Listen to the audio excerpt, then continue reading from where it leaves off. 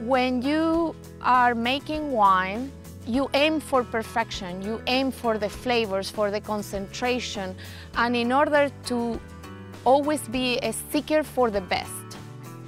I'm Marcia Monahan Torres. I grew up in Chile. I'm a winemaker that came from Chile many years ago. My first relationship with wine was because my family had this small cellar in the countryside. The reason why I love uh, what I do is because I love to see and observe, observe nature and being on the outside.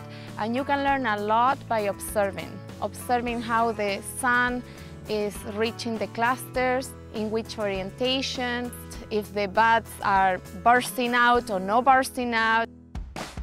And we are going to have for the Generous Pour the 2012 Merlot Sonoma County.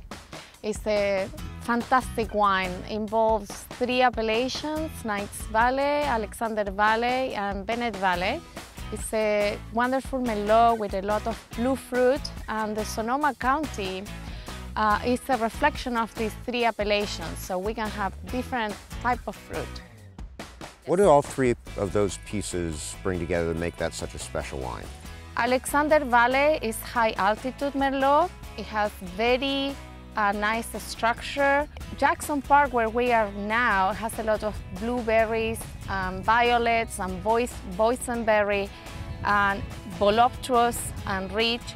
And the Knights Valley has these rose petals. It's like a pomegranate. When you uh, make the blend, when you, you make the blend, very you complex. get. Yes. But here's a special thing: the way you smile when you talk about each one of the three different ones is oh, awesome. Oh, okay. Because I know you get excited about I how get excited, all yeah, three of yeah. them taste together.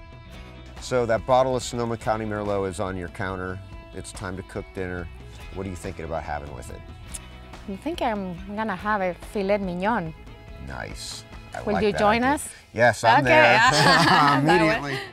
One of my favorite things about the Generous Pour is the ability to compare and contrast. I can take a wonderful Merlot like the Matanzas Creek Merlot and compare it to Cabernet or to Pinot Noir with a great cut of meat like a filet. All at the Generous Pour at the Capital Grille July 6th through August 30th. I start with my glass of Merlot and then I get inspired.